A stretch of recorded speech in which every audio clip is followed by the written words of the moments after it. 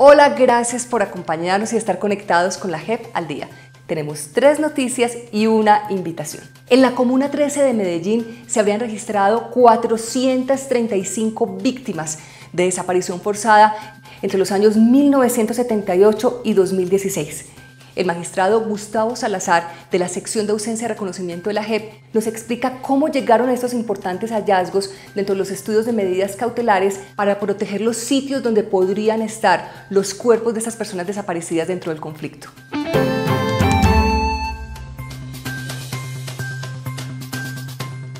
La sección del Tribunal para la Paz en el marco de las medidas cautelares orientadas a la protección de posibles sitios de inhumación de personas dadas por desaparecidas, avanza en la determinación del universo de víctimas, es decir, saber cuántos son. Durante la audiencia celebrada los días 17 y 18 de julio en la ciudad de Medellín, en el año 2019, diversas entidades y las organizaciones de víctimas presentaron múltiples cifras.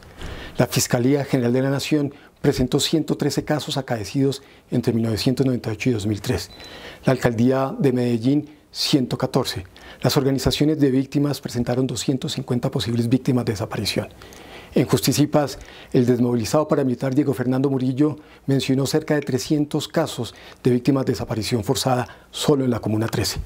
Hoy la jurisdicción cuenta con 435 víctimas identificadas, de las cuales 206 fueron durante el periodo 2001-2003 el más crítico. Con esta información, el Sistema Integral de Verdad, Justicia, Reparación y Garantía de No Repetición podrá avanzar en la identificación de 56 cuerpos correspondientes a personas no identificadas exhumadas del Jardín Cementerio Universal que se encontraban en los laboratorios de osteología de la Universidad de Antioquia. La Sala de Definición de Situaciones Jurídicas rechazó la solicitud de sometimiento de Rodrigo de Jesús Roncayo Fandiño como agente del Estado no integrante de la fuerza pública. ¿Pero qué implica esta decisión?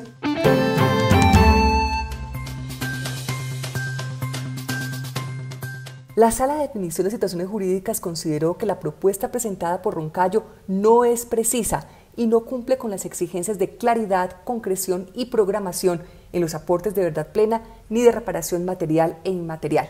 La Sala también manifestó que, a pesar de existir pruebas que comprometen al señor Rodrigo Jesús Roncayo Fandiño en cuanto a sus vínculos de amistad y relaciones comerciales con el ex paramilitar Manuel Gregorio Gutiérrez Gutiérrez, jefe de finanzas de alias Jorge 40, y el bloque norte de las autodefensas, por lo menos desde el año 2000, nada dijo al respecto.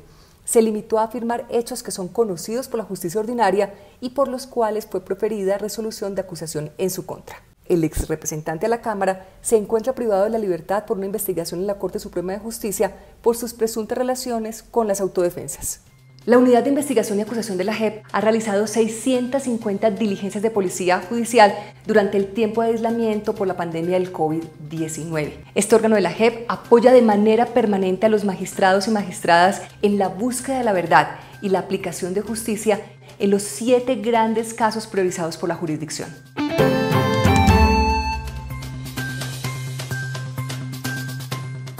En medio de esta situación de pandemia y de aislamiento social, la Unidad de Investigación y Acusación de la Jurisdicción Especial para la Paz sigue trabajando. Con su grupo en Bogotá y nuestros grupos territoriales, hemos recibido entre marzo y junio del presente año 533 comisiones de la magistratura, las cuales se han traducido en 669 órdenes a la Policía Judicial.